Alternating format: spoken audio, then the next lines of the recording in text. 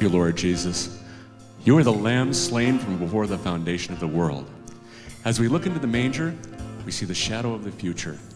And we bow before you and worship you as our Lord, our King, our Messiah, and our Redeemer.